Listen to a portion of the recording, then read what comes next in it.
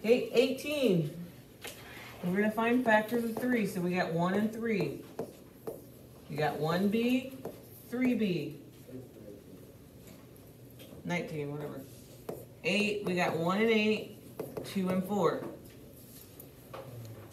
What do you wanna try? Uh, two and four. Okay, so two and four, check the outer. Inner.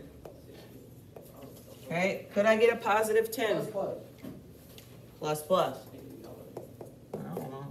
He's excited. Why is he excited? Cause it's math class, duh. Like, What, what the crap, man?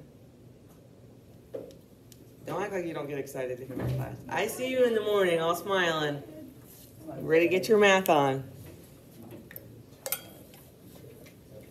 That's the class, I'll get that. That's his class, that's not a word. I didn't say that. I feel like your word class is a word. Come on, dude. That Shh, my camera's on. Okay, factor out each common factor. Okay, this is gonna be the GCF, so we're gonna factor out the greatest common factor. Okay, what are some factors of two? One and two. One and two. Okay, four. One, four, two. One, four, two, two. What's the biggest match you can pull up? Two. Okay, two. So you're gonna draw your parentheses, and we know that we got this match of twos. Okay, so we're gonna put our two on the outside. Okay, if you're still lost, look up here. What is two divided by two? One. One. So the one goes in the first spot. Four divided by two. Two. Two. Okay, you're gonna drop down your signs, and in this case, we have one minus here in the middle. Okay, what about the B's? We got two B and eight B. Which one's smaller? Two, so that's gonna get pulled out. Okay, well, there was two, and we took two. How many's left? Zero. None, so we don't put any right there. There was eight, we took two. How many's left?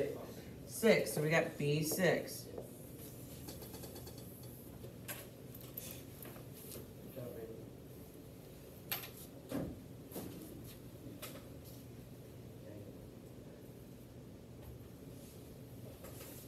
Okay, last one.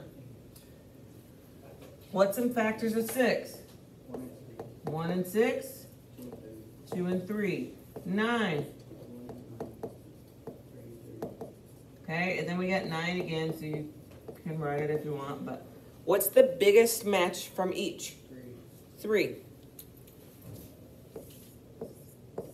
Okay, they all got a three, so that's gonna go on the outside. Okay, six divided by three, Two. Two. Nine divided by three, Three. three. And then obviously this one's gonna be a three. Okay, put your signs back. Okay, I got a X four, X two, X what? One. Okay, what's the smallest? One. X1. Okay, so we can pull out an X1. How many's the first guy gonna have left? Three. Three. Second guy,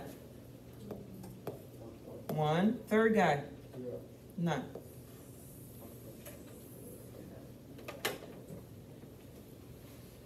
Okay, you guys have 12 problems to do. Um,